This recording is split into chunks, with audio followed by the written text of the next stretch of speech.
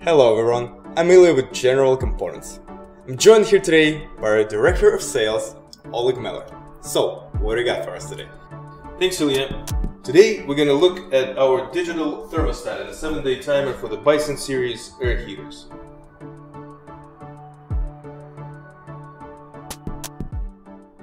When the timer is first installed after it has been powered on, the initialization screen will appear with the I and I letterings on the display, and once it is connected to the heater and has performed a self-check on the timer itself, it brings you to the main menu. The navigation buttons on the timer you see here, the right arrow key or the left arrow key, the power button, which is a bit misleading because it only functions as a back button to bring you back to the previous menu, and lastly an OK button.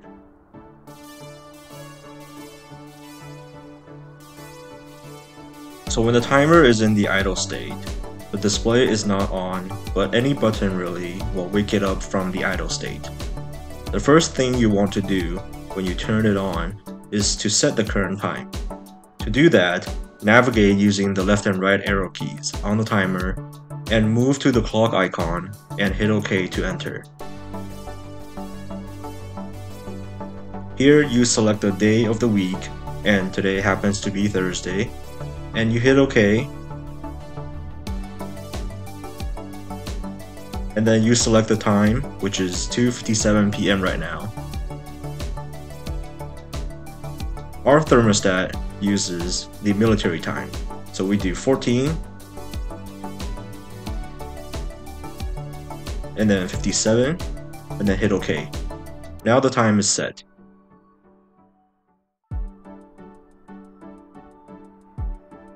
The next feature we want to discuss is the programming feature, and you can have up to 3 start times per day in any combination of the 7 days in a week. So to do that, navigate to the P icon and hit OK, and then you'll see the 3 programs displayed on the upper left corner. Let's go into program number 1 by pressing OK and set program number 1 to on by using the left and right arrow keys and hit OK. The next thing you see is the length of time you want the heater to run in this program. So let's set it to 1 hour. The time goes up in increments of 10 minutes. So we will set it to 60 minutes. Press OK to confirm the time duration. Next up, we need to give this program a start time. Let's have the heater start up at 6.10 in the morning.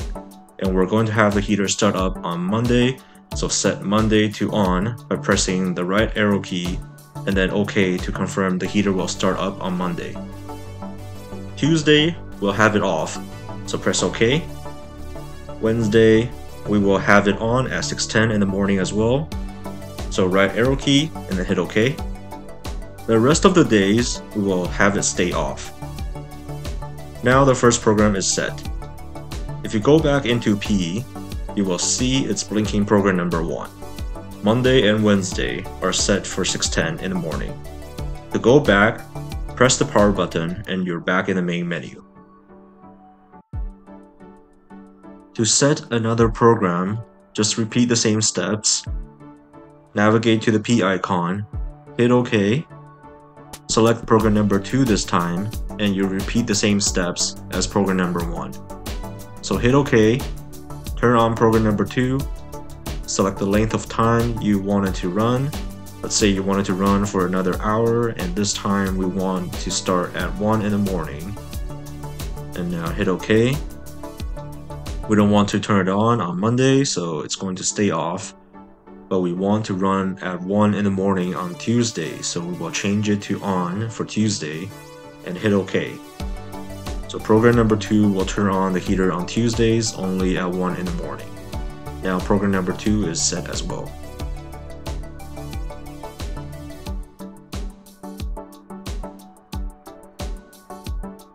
Alright, so the next thing we're going to look at is putting the heater into heat mode.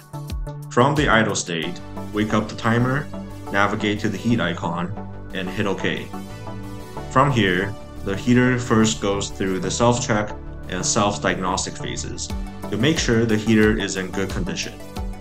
After it passes the initial system check, it defaults to the constant power mode, which you can go from level 1 to level 7. In this mode, the heater will constantly output power. The only difference between the levels is how hard the fan blows heat into the heating space. Holding the OK button while in constant power mode, and it will take you to the set point mode. Here you can go from 5 degrees Celsius to 35 degrees Celsius. In set point mode, the heater will try to maintain whatever temperature you have set. So let's say we leave it at 34 degrees Celsius. Once it reaches the set temperature, it will go into the idle state.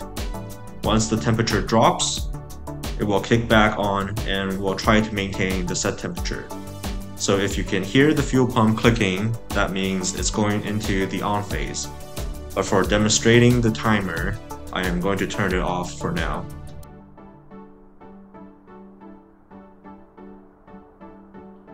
Okay, so the next thing we're going to look at is ventilation mode. It's essentially a mode where the heater is on, but it's not producing any heat. It is just to move air around. So again, let's wake it up and navigate to the fan icon and hit OK. Same as in heating mode, you can set the fan levels from 1 to 7. 7 is the maximum and 1 is the minimum just in case you want to get the air moving in your cabin.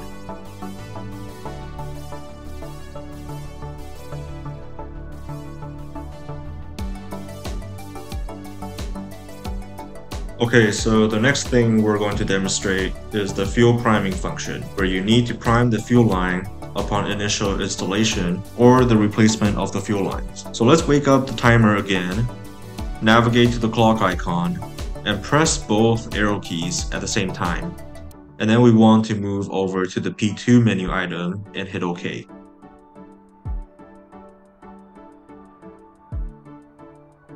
For 90 seconds, the pump will be clicking and delivering fuel to the combustion chamber.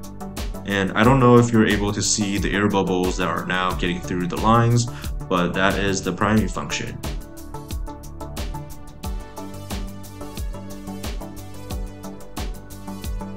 and you can stop at any time by hitting OK and going back to the main menu.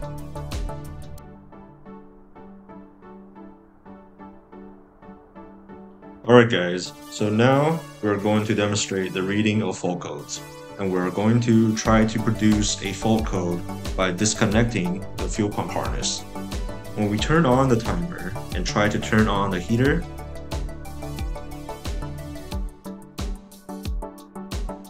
Let's wake it up and navigate to the heat mode and hit OK. Now, let's turn on the heater. And as you can see, the heater goes through the initial self-diagnostics. And right here, it registered the fuel pump fault. And E70 is flashing on the display to let you know the fuel pump circuit is open circuit.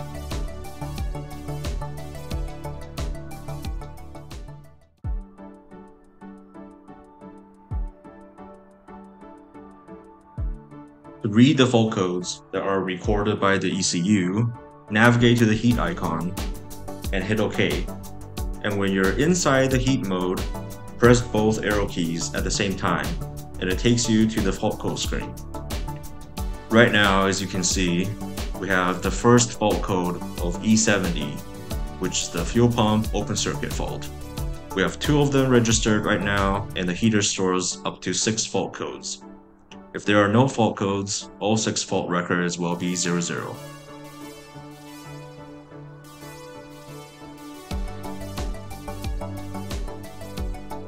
To clear the fault codes on the ECU, while inside the fault code screen, simply press and hold both arrow keys at the same time, and it will clear all of the fault codes from the heater.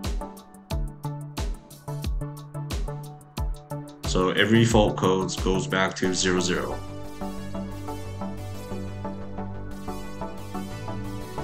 And the last thing I want to show you is how to read the current temperature and atmospheric pressure. Just navigate to the AD icon, hit OK, and you can see that it's showing 35 degrees Celsius at the moment and 101 kilopascals of atmospheric pressure.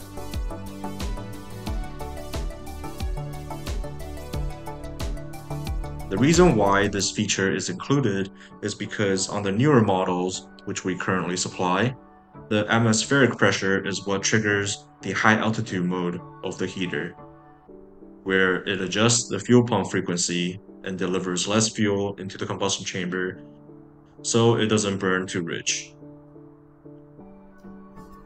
Thanks for watching. We hope this tutorial was helpful. Of course, feel free to reach out. We're always happy to hear from you.